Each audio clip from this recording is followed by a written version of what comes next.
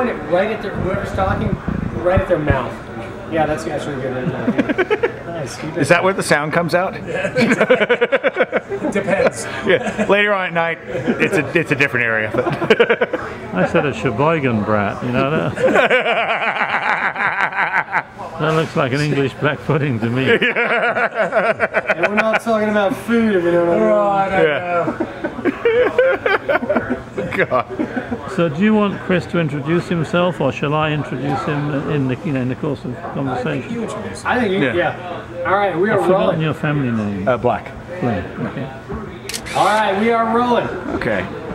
You know, I get to meet some some great guys in this business. Uh, a lot of them are brewers, but some of them run bars. And uh, Chris Black has run some of my favourite bars. I think I first met you down in uh, Houston, was it? Yeah. Houston, like 1988. That was. Ginger Man. Ginger Man, yeah, Houston, Texas.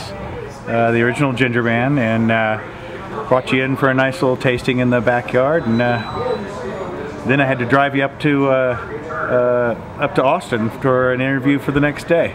And had they opened uh, Ginger Man in Austin? No, that was much later. Yeah.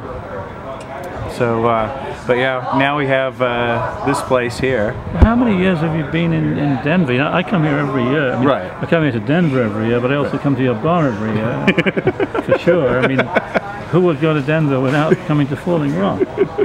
Absolutely, we've been here since '97. We moved up here and decided to open up uh, a beer bar, and our goal was to have as good a beer bar as we could do it. And uh, especially because the Great American Beer Festival is here every year. Of course, that must be, I don't know, a nightmare time or a wonderful time for you. It, But it's a, it's a, it's both at the same time. It's a, it's a joyful nightmare. It's a lot of work. nightmare. Yes. good phrase, I think. I mean, it's it's a lot of work. There's no sleep, way too much drinking, but I wouldn't change anything for the world. It's absolutely my favorite time of the year. So you like to be busy, busy. Well, it's a whole lot more profitable that way. Absolutely. The alternative is being completely empty, and that's not so much fun. When you opened this place, what was your idea about what would make a great beer bar? Well, fortunately, I kind of got to cheat. I got to see some of the other great beer bars around the United States.